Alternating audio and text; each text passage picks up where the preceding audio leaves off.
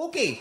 Katulad ng sinabi ko kanina, ang punto natin sa araw na ito ay ano ang mas masarap na itlog? Ngayon ay buksan nyo na kung anong panig ninyo. Para kay candidate number three, ang napili mo ay, user mic, Scrambled egg. ang napili naman ni candidate number two ay Sunny side up. sunny side. Ano ba yung sunny side up? Yun yung ano, yung ang may itlo, yung pula. Don't break the yolk. Yung yolk. Mm. Naka ano pa siya. Pinirito yung lang, flat- hindi siya oo. binate. Oo. Yeah. Ba't hindi ho kayo mag-co-host pag hindi na ho kayo kasama? Ako ma, bigyan mo ako ng Tingnan chance. namin, kina- kakausapin namin director. Sige, bigyan mo ako ng chance.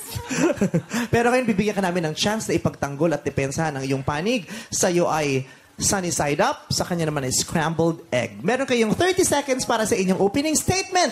At dahil ikaw ang unang nakapasok at nauna kang magkaroon ng dalawang puntos, ang usapin, mauuna ka na depensahan ang iyong panig. Okay? Ang usapin ay ano ang mas masarap na itlog, scrambled egg, or sunny side up? Your timer starts now. I believe, madlang people, I have four points over this scrambled egg. Mas masarap siya. Bakit? Pwede mo siyang timplahan. Pangalawa, pwede mong mabago ang lasa pag dinagdagan mo ng kahit na ano. Kasi scrambled egg nga siya. Pangatlo, pwede mo siyang haluan ng kahit na ano. Tulad ng, ng beef, um, salt, or kahit na bacon. Kasi pwede mo siyang i-scramble. And I thank you. Maraming salamat, candidate number three. Kay Perlawan.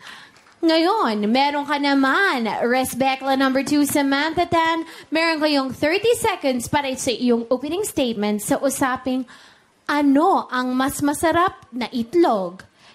Sunny side up ba? Your timer starts now. Sunny side up ang pinakamasarap na itlog. Number one, the beauty is in the eyes of the beholder in the same way as taste is a matter of tongue.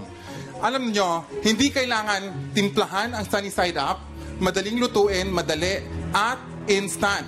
Diretso na siyang kakainin. And number two, study shows that raw yolk is healthier than cooked yolk. Uh, the argument that it is natitimplahan at bago, it's pretty sure, pretty And I thank you. Maraming maraming salamat sa iyo, Resbecla number two, Samantha Tan. At dyan magtatapos ang inyong opening statement. Intense! Oo. Ang intense, di ba? May mga facts gumagaling dito kay attorney. Oo. Dito naman talagang uh, mukhang... From experience. experience kasi mukhang nakapagluto na siya dati ng scrambled egg Oo. at marami siyang naidadagdag dito. Beef nga, di ba? At bacon. Bacon.